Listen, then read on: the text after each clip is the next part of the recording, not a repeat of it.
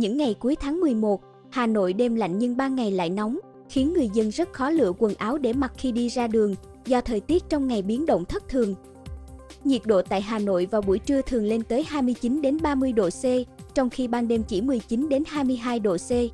Ban ngày, người dân khi ra ngoài đường đều cảm nhận được sự khó chịu của thời tiết nắng nóng giữa mùa đông.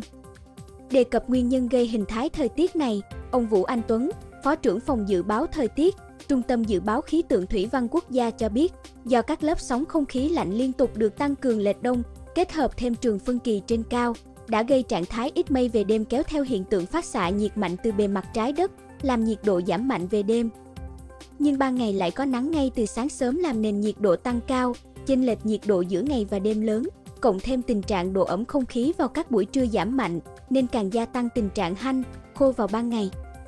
Chuyên gia Vũ Anh Tuấn cũng thừa nhận, thời tiết năm nay nóng hơn mọi năm, cả ở ba miền. Tính đến ngày 29 tháng 11, nhiệt độ trung bình tháng 11 năm 2023 ở khu vực Bắc Bộ phổ biến cao hơn trung bình nhiều năm cùng thời kỳ từ 1 đến 1,5 độ C, có nơi sấp xỉ 2 độ C.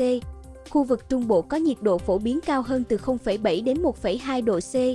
Tây Nguyên và Nam Bộ cũng có nhiệt độ phổ biến cao hơn từ 0,5 đến 1 độ C.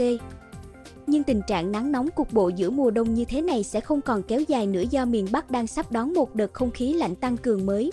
Dự báo từ chiều nay 30 tháng 11, miền núi phía Bắc sẽ đón gió mùa đông bắc. Từ khoảng ngày 1 tháng 12 thì Hà Nội lạnh trở lại cả ngày lẫn đêm,